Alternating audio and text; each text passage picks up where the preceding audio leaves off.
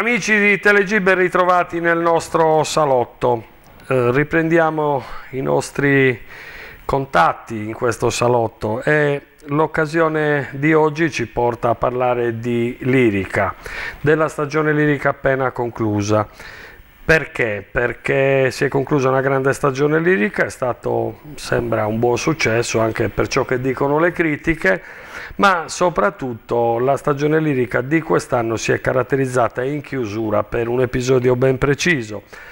In pratica il direttore artistico, il dottor Marco Spada, per 19 anni direttore del, dell'ente concerti De Carolis, quest'anno ha rassegnato le proprie dimissioni. Ebbene, il direttore Marco Spada oggi è qui con noi. Buonasera direttore. Buonasera a voi.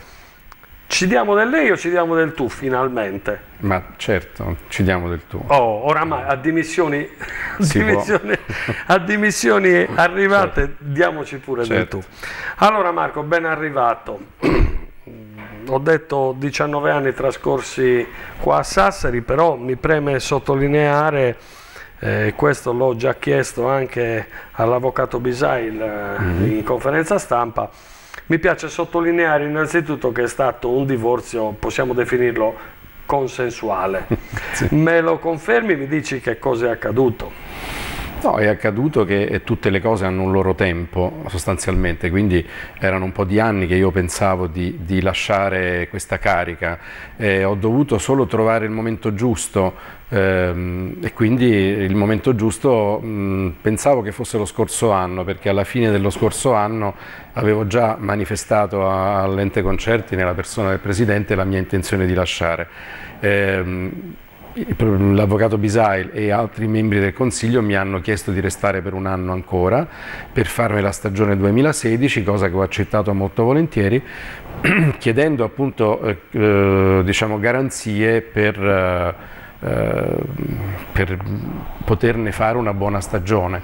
Eh, naturalmente loro hanno accettato, è, chiaro che come sempre succede nella musica eh, quello che si dice a gennaio non sempre è quello che si può fare poi a giugno, a luglio, a agosto, a settembre perché abbiamo avuto anche quest'anno i classici problemi di economici, il taglio fatto dal Ministero, eh, l'ennesimo, taglio. taglio. fatto dalla, dalla Fondazione Banco di Sardegna che ci ha ridotto un po' il contributo e quindi io purtroppo anche quest'anno ho dovuto rinunciare a un concerto concerto di apertura che avevo programmato in, eh, in, ehm, in relazione all'anniversario dei 400 anni di Shakespeare e avrei voluto fare un concerto con le musiche del Sogno di una notte di mezza estate eh, di Mendelssohn con l'orchestra, il coro, i soprani e la parte interamente recitata della commedia che avevo affidato a Sante Maurizi.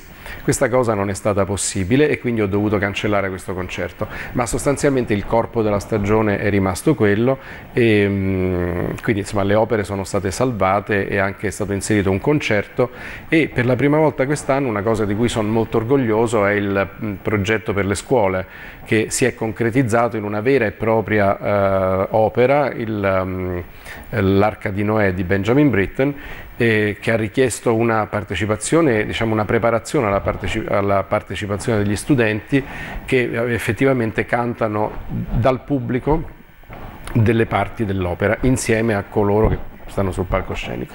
Ecco, in questi 19 anni che cosa è accaduto nell'ente concerti? 19 anni sono tanti, cioè, mh, sarà sicuramente difficile riassumerli con dei numeri, ma ci saranno dei dati salienti, qualcosa? Ma, prima cosa, eh, diciamo, il teatro di Sassari, quando io sono arrivato, era un teatro di cui in Italia si aveva poca notizia.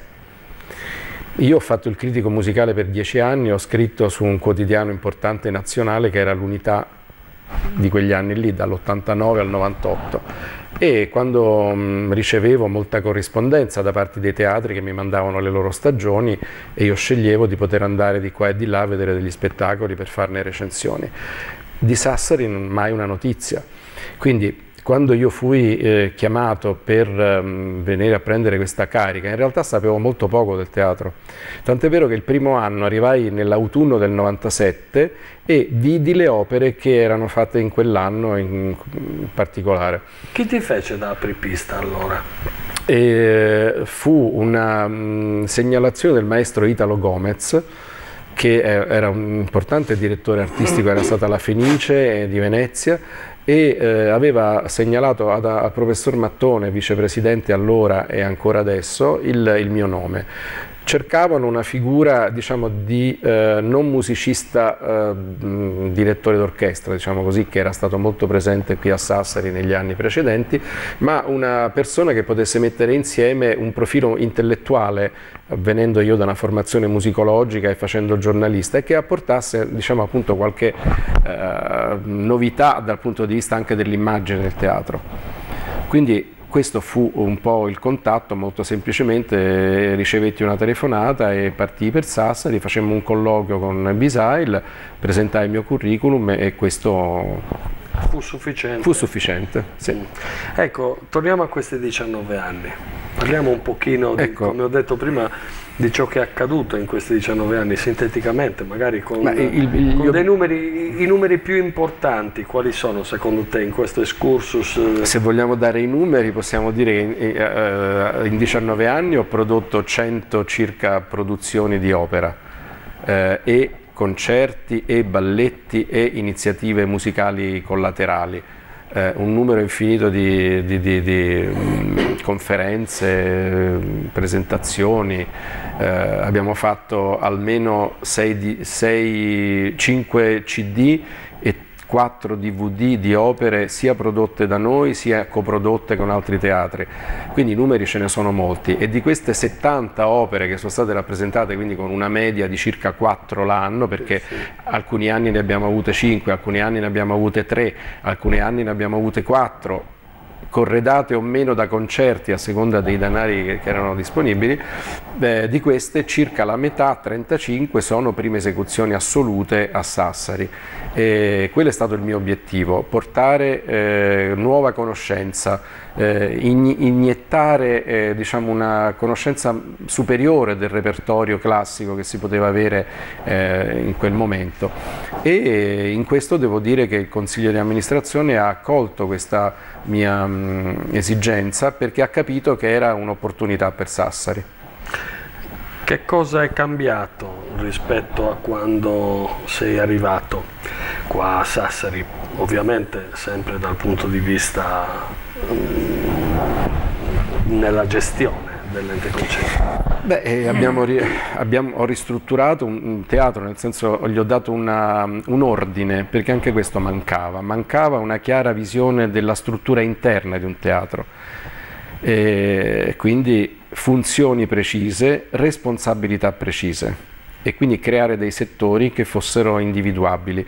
Prima c'era un po' come dire, un, una sorta di conduzione familiare che funzionava per certi versi ma creava problemi in altri. Il teatro, tutti i teatri, dai teatri piccoli ai medi e ai grandi, sono comunque eh, delle, delle, piccole aziende e le aziende funzionano con una sorta di piramide in cui al vertice c'è una persona che prende responsabilità ma sotto ci sono i quadri e, e i quadri hanno le loro responsabilità. Quindi io da una parte ho lavorato all'interno della struttura teatro, quella che oggi eh, appunto funziona molto bene, dall'altra sul repertorio e dall'altra, ripeto, sull'immagine del teatro perché io ho cominciato a coinvolgere tutte le mie conoscenze personali nel campo della stampa nazionale, internazionale e della musicologia perché a Sassari ho fatto venire per le presentazioni delle opere il gota, posso dirlo, della musicologia nazionale.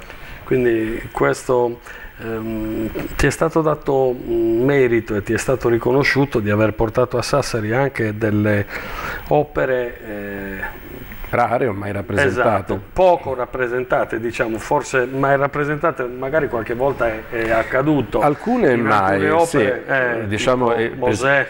Beh, il Rossini Serio, che era un po' una mia fissazione, venendo io proprio da una formazione rossiniana, avendo lavorato alla Fondazione Rossini di Pesaro, eh, proprio per le edizioni critiche. Quindi sì, ho portato qua il Museo in Egitto, la, il Tancredi, che fu proprio il primo Rossini serio rappresentato a Sassari e anche, credo, in Sardegna, e, e ultimamente l'anno scorso l'Elisabetta Regina d'Inghilterra. Poi ci sono state delle collaborazioni molto proficue con la, col Teatro Donizetti di Bergamo, quindi abbiamo portato Lucrezia Borgia, Poliuto e il Marino Faliero. Um, e poi opere anche del Novecento storico, per cui ho potuto fare la Turandot di Busoni nel 2000, accoppiata alla Turandot di Puccini, senza il finale di Alfano, eh, che ricevette il premio Abbiati per lo spettacolo di Denis Krief. Mm, cito Poulenc, cito Le Mammelles di Tiresias, la, la Voix Humaine, eh, abbiamo fatto Stravinsky l'Histoire du Soldat. Un'opera che tra l'altro poi, correggimi se sbaglio, credo non sia mai più stata rappresentata in Italia dopo che è stata fatta qua a Sassari, la Navarrese. La Navarrese, mai, la Navarrese di Massenet era una, mm, veramente una novità assoluta. nel Novecento in Italia era stata rappresentata credo nel 1901 in qualche posto e poi mai più ripresa, quindi quando noi l'abbiamo fatta qui che era il 2001 era quasi da veramente un secolo che non si riprendeva e da allora non si è più vista in ecco, Italia. Ma tutte queste novità secondo te sono state eh, la scelta di queste novità, sono state dettate più da una necessità di dover presentare un nuovo prodotto mm, o, o quantomeno poco conosciuto oppure un'aspirazione, un, voler portare a Sassari qualcosa di nuovo? Allora, credo che un direttore artistico debba mediare, mediare tra i propri gusti e però tra le esigenze del pubblico, il tipo di città che accoglie il teatro e quindi l'utenza. Una stagione lirica, un cartellone non è mai il prodotto di una singola volontà, è il prodotto di esigenze che si fondono e io credo che questa formula che per molti anni abbiamo portato avanti, cioè di eh, creare un cartellone che avesse opere di repertorio e quindi diciamo, accogliesse anche la domanda del pubblico che ama le opere più tradizionali, eh, dovesse essere accompagnata delle proposte. E, per molti anni ho avuto proprio la, la, risposta del pubblico sempre di pari grado, nel senso non è che venivano meno a vedere la, la, il Marino Fagliero piuttosto che la Traviata, perché a un certo punto si è innescato nel pubblico questo orgoglio che è stato eh, sentito come proprio di avere un teatro che facesse questo rispetto ad altri. Anche un po' di curiosità, e curiosità per conoscere certo. qualcosa che probabilmente prima Chiaro. rimaneva un po' nel limbo o, o quantomeno sconosciuta. Senti, ma c'è qualcosa che rifaresti domattina e invece qualcosa che non rifaresti per niente di, di ciò che è accaduto nella Beh certo, è, è, è, log è, logico che non, non, tutte le ciambelle sono sempre riuscite col buco naturalmente, normale. questo è normale. Um, il mio più grande de desiderio e anche soddisfazione è stato quello di aver portato i concerti sinfonici a Sassari e purtroppo questi invece non hanno avuto un grande esito dal punto di vista della domanda del pubblico. È curioso che un'istituzione che si chiama Ente Concerti poi non faccia i concerti. Quindi ehm, il concerto sinfonico è stato per un periodo di anni eh, possibile farlo ma eh, non è entrato dire, nell'abitudine delle persone. Quindi io domani mattina rifarei dei concerti sicuramente. Ecco. E è chiaro che eh, se dovessi ancora scegliere dei titoli di opera, eh, ho naturalmente delle opere che avrei desiderato fare e che fino adesso non mi è stato possibile. Tipo?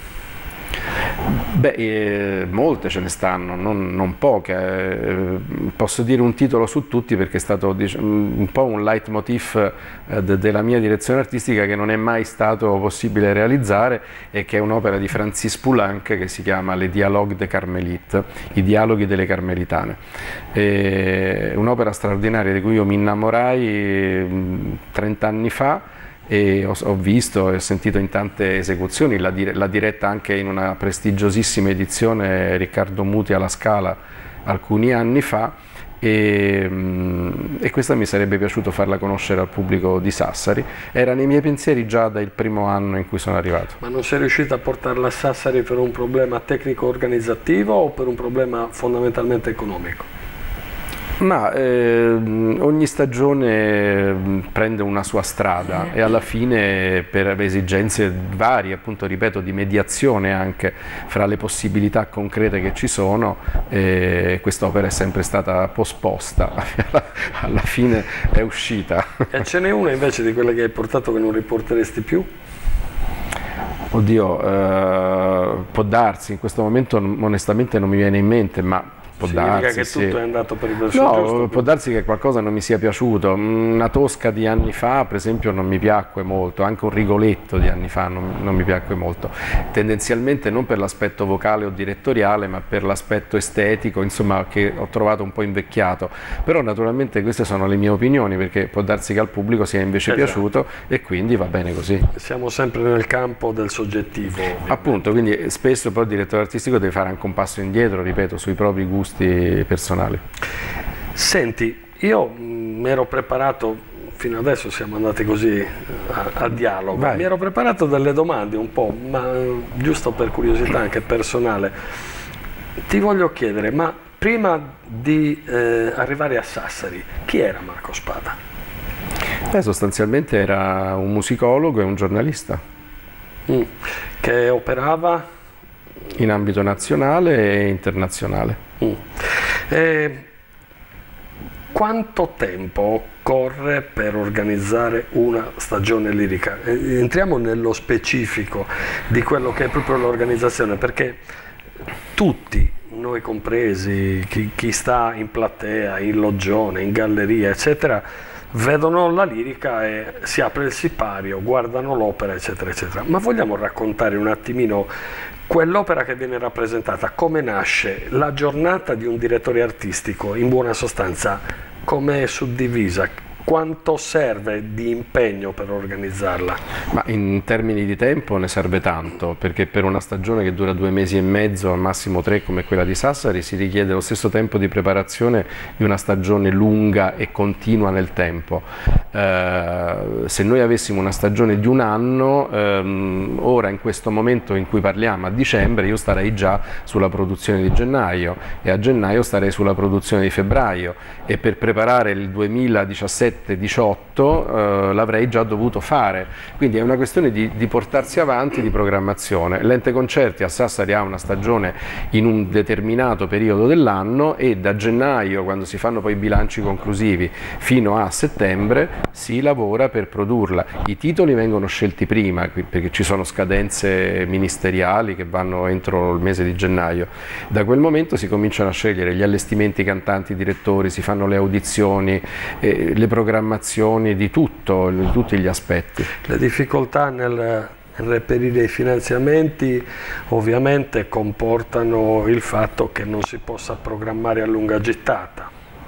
Questo è così, infatti. Cioè, è, un, è, un, grosso problema un... che anche il Presidente, l'Avvocato Bisai, l'ha sempre sottolineato in qualsiasi conferenza stampa, è la mancata possibilità di programmare a lunga scadenza che non dà eh, forse nemmeno la possibilità di contattare quei cantanti che magari potrebbero venire ma hanno già un un carnet pieno di impegni. Ma questo vale un po' in Italia oggi purtroppo per tutti i teatri, sono tutti molto col fiato sul collo per la programmazione. No, Forse... questo lo dico perché in tanti eh, Sassari sostengono, dice, ma quando arriverà un cantante di grido eccetera eccetera, credo che questo sia uno dei motivi per i quali forse a Sassari i cantanti di grido, al di là del costo che può essere determinante, ma forse anche un problema di natura tecnica, cioè il non poterlo contattare per tempo in funzione funzione dei suoi impegni. I perché... problemi sono, sono, collegati naturalmente, eh, però per esempio qualcuno mi dovrebbe anche dire qual è il cantante di grido,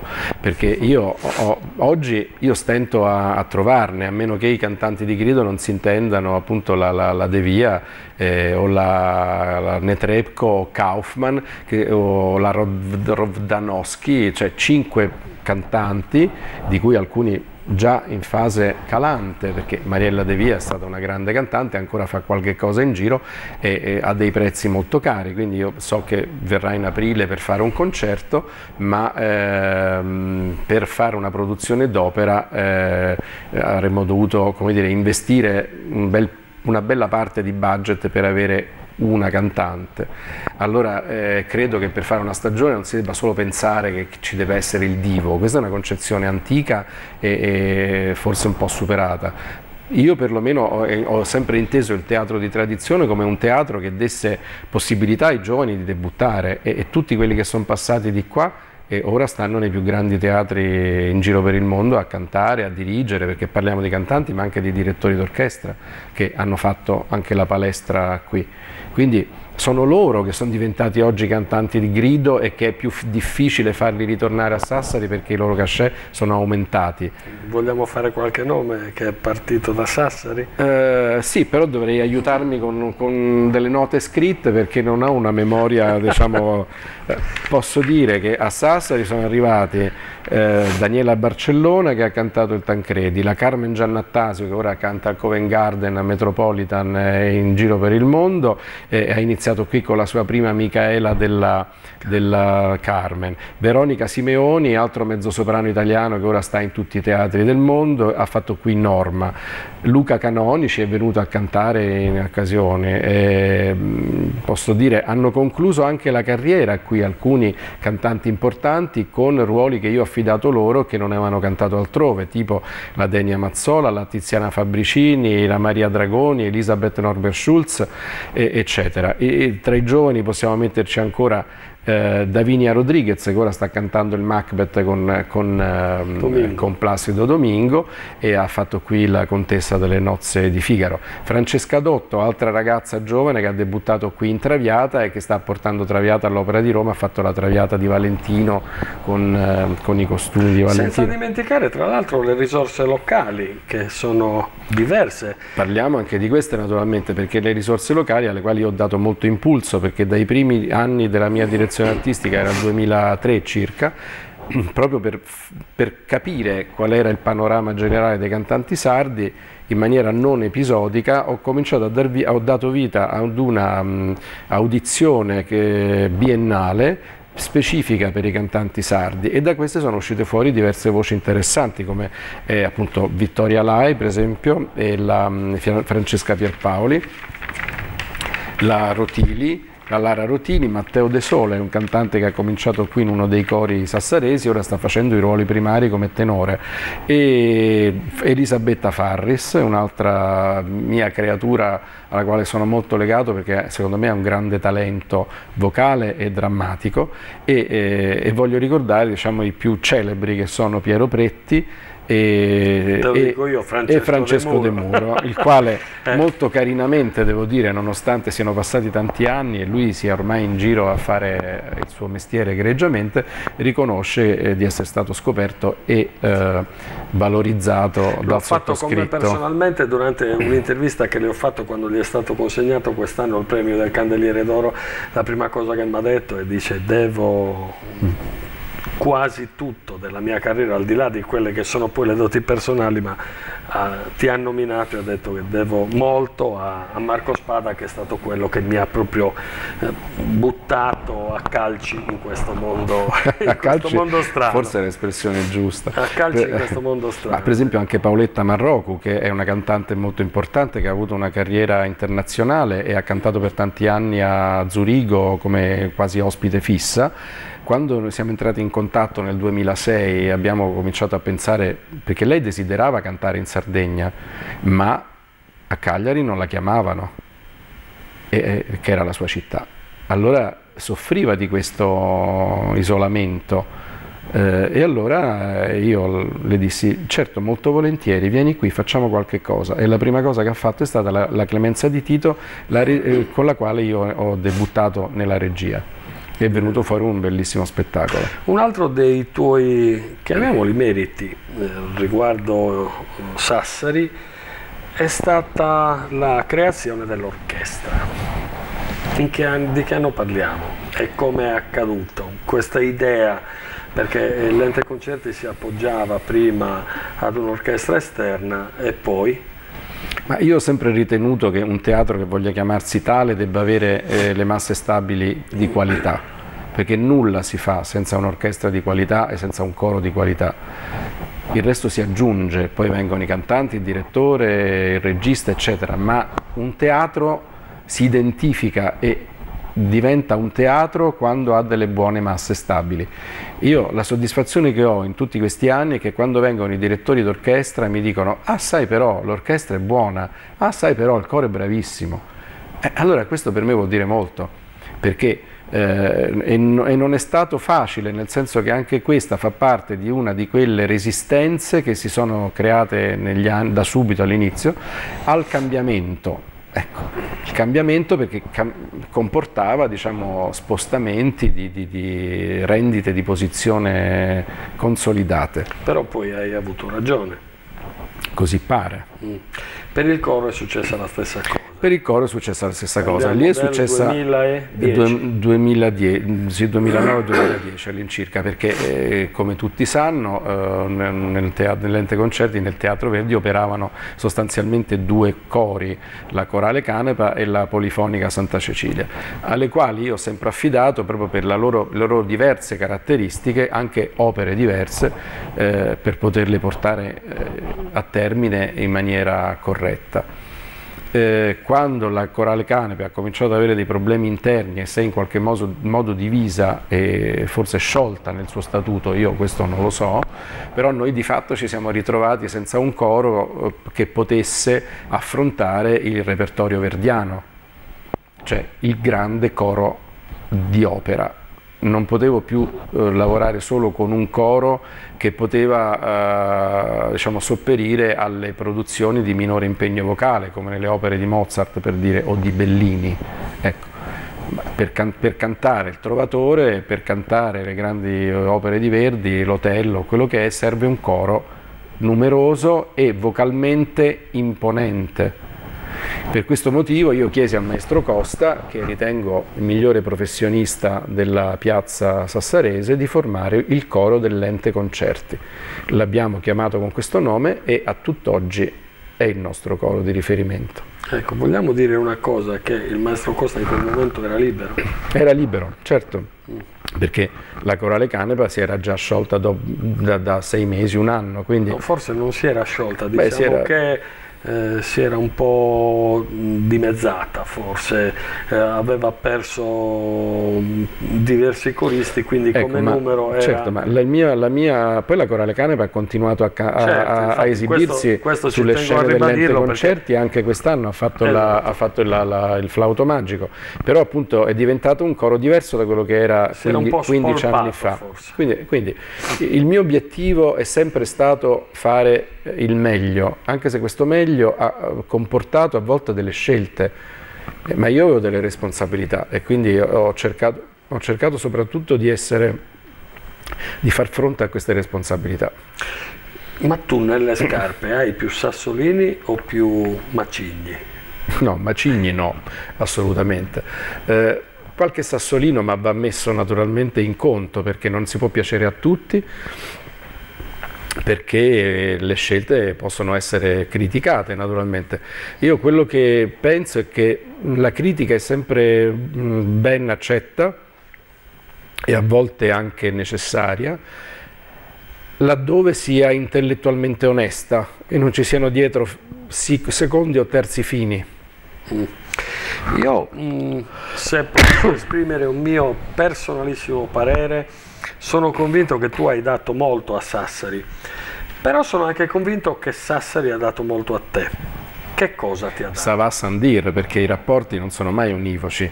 Cioè, quando, poi abbiamo detto che inizialmente i primi anni sono stati anche conflittuali, no?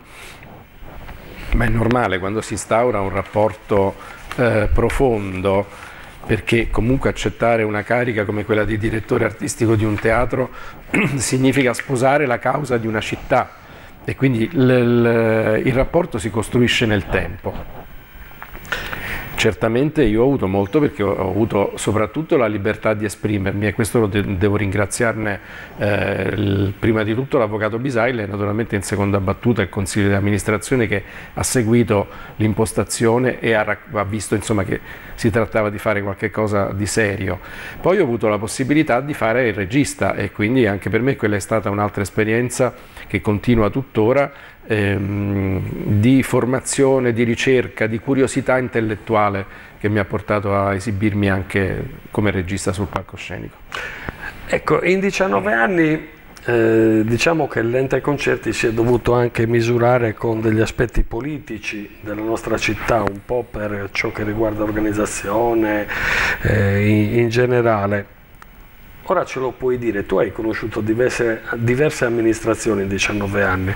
Se mm, eh, dovessi dare un voto alle amministrazioni che si sono succedute, ora ce lo puoi anche dire, intanto non hai più niente da perdere, che te frega. No. Ma eh, è un discorso molto, molto difficile, nel senso che eh, forse noi facciamo un mestiere che veramente non è molto compreso fuori dalle mura del teatro. Eh, in 19 anni posso dire che ehm, ci sono stati eh, assessori e sindaci più sensibili e assessori e sindaci meno sensibili, questo è chiaro.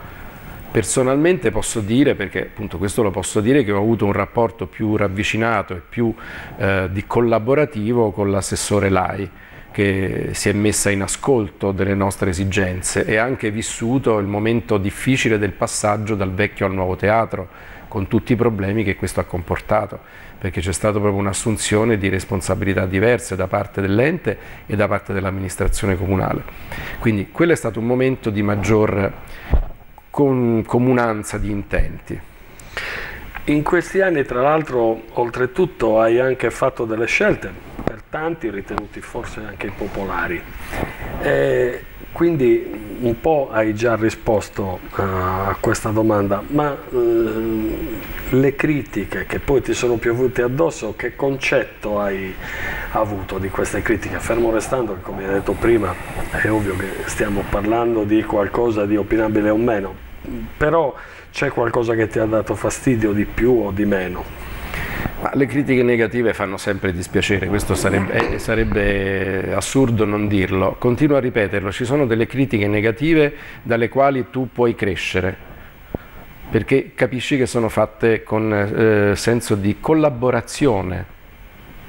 Ecco, quello che eh, a me forse dispiace di più è che ci sia voluto tanto tempo per radicare l'ente concerti e la stagione lirica nel tessuto cittadino perché per molti anni quando io arrivai a Sassari eh, le prime cose che mi sono state dette è che quello dell'ente concerti era un club chiuso riservato a pochi che pochi avevano accesso all'opera lirica che l'opera lirica era una cosa solo per, uh, per le elite cosiddette culturali. Beh, tu un po' hai stravolto questi canoni perché Diciamo che nel bene e nel male eh, hai portato un altro dei tuoi meriti, credo hai portato le scuole a teatro. E questo credo che sia molto importante perché per Sassari che già vantava una tradizione eh, culturale eh, inerente alla lirica molto radicata, molto sentita e tu hai avuto questo merito che dà delle prospettive, ci fa guardare bene. L'età media del pubblico è inesorabilmente invecchiata in tutta Italia e quindi è giusto uh, investire sul pubblico di domani. L'anno scorso per esempio abbiamo avuto nelle manifestazioni del, nel 2015, manifestazioni per gli studenti, abbiamo avuto 4.000 presenze e credo che quest'anno siamo lì o addirittura l'abbiamo superata perché la, il coinvolgimento nel progetto dell'Arca di Noè delle scuole che partecipavano sul palcoscenico cantando ha messo in moto un interesse diverso. Cosa farà Marco Spada adesso? In molti se lo chiedono. Sarà forse più un mio problema che il problema di molti. Beh, eh, vabbè, ma qualcuno probabilmente sarà curioso di sapere che... Ma intanto ho dei progetti registici per l'anno prossimo, che per ora non dico perché bisogna sempre essere un po' scaramantici. Ecco, infatti ti volevo chiedere nostro... se il tuo futuro è... Eh, attaccato ad una scrivania con una penna in mano oppure in palcoscenico? Il mio futuro non sarà sicuramente attaccato a una scrivania con una penna in mano perché se avessi voluto fare questo l'avrei fatto quando ero giovane, quindi io sono uno alla ricerca di novità, di nuovo, eh, nell'ambito culturale.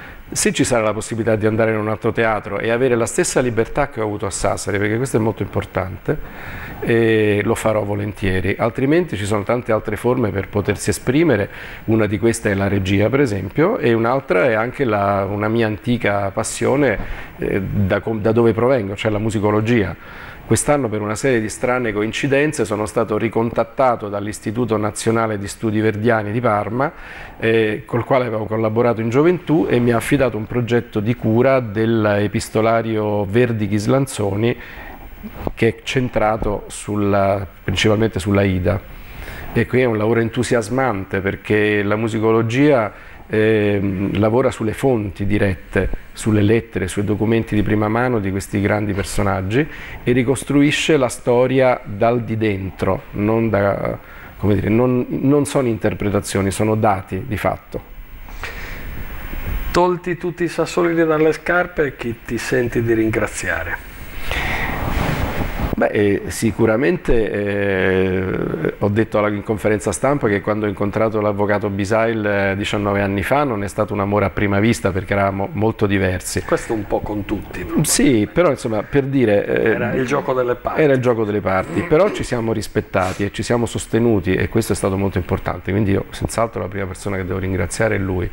Poi naturalmente le tante persone che, che hanno lavorato con me e quindi all'interno del, del teatro eh, insomma, Donatella Cossiga e Cristiana Sanna che sono certamente le persone più, più importanti lì dentro.